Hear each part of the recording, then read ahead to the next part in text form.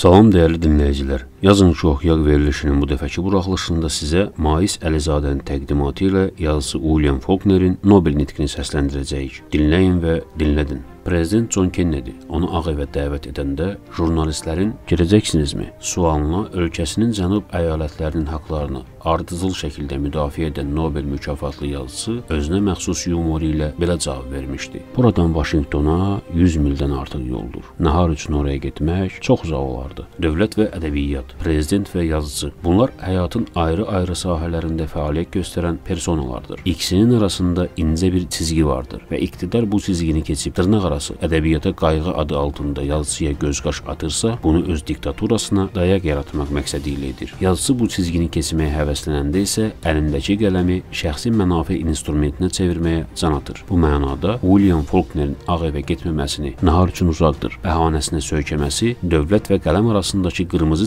çizginin varlığını həmkarlarına yenə və yenidən xatırlatmasından başqa bir şey deyildir. Naturası etibarilə iki zidd məhfumu, dövlət və yazar, təmsil edənlərin qul boynu olması cəmiyyətdəki mənəvi dəyərlərə ölümcül zərbə endirərək qorxu məhfumunu tədavülə daxil edir. Qorxu faktoru topluma hakim kəsiləndən sonra isə özünün mənəvi dayağını tapan diktatorun kükrəməsi xeyli asanlaşır. Yazarın isə kefi alabuludlarda dolaşır. Keçən əsrin 20-ci illərindən üzübəri Azərbaycan ədəbiyyatında cərəyan edən proseslər bu sualları vicdan sahibi olan hər kəsin gündəmində saxlayıb. Aya qələmini, nəsil nəcabətinin yem mənbəyinə çevirənlərə Mikail Müşfiqin tərlansan, göydən enməzsən, torpaqlarda sürünməzsən, mən dönsəm də sən dönməzsən.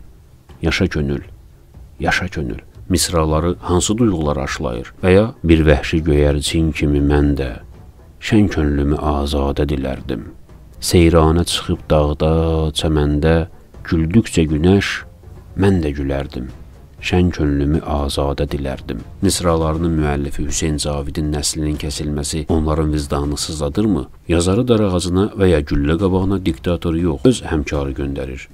1937-yə yaşımız çatmayıb, istintaq və məhkəmələrəki üzə durmaları oxumuşuq. İndi Türkiyədə hər gün qarşılaşdığım örnəklər yazarın ən zalım diktatordan daha təhlükəli olduğunu göstərir. Yaradıcı adamın müqavimət nümayiş etdirmədiyi yerdə bizi nə vaxt məhv edəcəklər qorxu ürküsü toplumu sarır. Bu qorxu qərb toplumlarını sara bilmir. Çünki orada toplumun dəyərlərini insan hər şeyə qalib gələcək meyarı müəyyənləşdirir. Öz sarayımızın şairiyəm həyasızlığı yox. Bunu nəzərə alaraq hörmətli oxucuların Nobel mükafatları seriyasına diqqət yetirəcəyinə inanıram. William Faulkner Nobel mükafatı alarkən söylədiyi nitq Stockholm 10 dekabr 1950-ci il. Bu mükafatın qətiyyən mənə yox, əməyimə, heç də şöhrət və mənfəət üçün deyil, üzündə tər və qəlbində istirabla insan ruhuna söykənərək indiyə qədər yaradılmamış əsərlər yazdığıma görə verildiyini başa düşürəm. Buna görə də mən bu mükafatı vəkil kimi qəbul edirəm. Mükafatın bütün tarixi və şərəfli məqsədinə uyğun olaraq mənim onun pul qismini sərf etməyə yer tapmağım çətin deyil. Ancaq mənə göstərilən diqqətdən də ləyaqətli istifadə edərək özünü əzablı və məşəqqətli yazarlıq işinə həsr edən gənc qızlara və oğlanlara bu kürsüdən müraciət etmək istəyirəm. Bir zamanlar mənim durduğum yerdə duracaq olanların da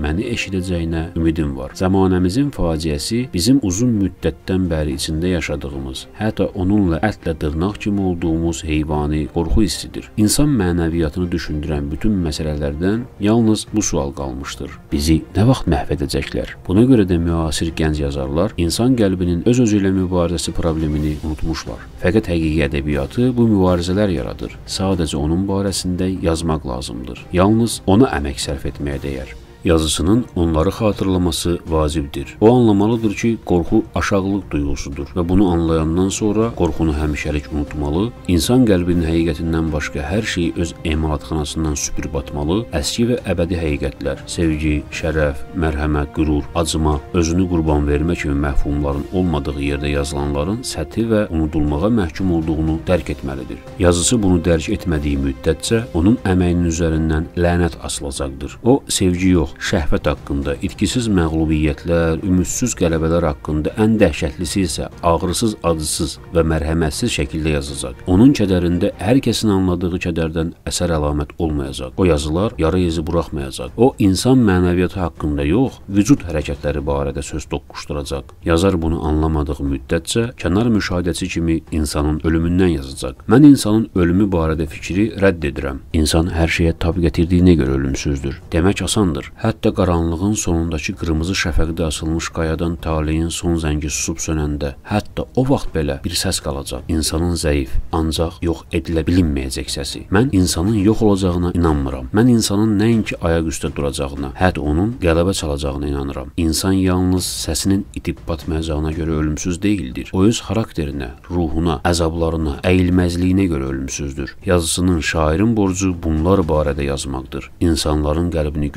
gücləndirərək onlara kömək etməkdir. Bəşəriyyətin əbədi dəyərləri olan kişiliyi, vicdanı, ümidi, qüruru, mərhəməti, özünü fəda etməyi onlara xatırlatmaqdır. Şairin səsi sadəcə əks sədadan ibarət olmamalıdır. Bu səs insana ayaq üstündə duraraq qalib gəlmək üçün dayaq və təməl olmalıdır.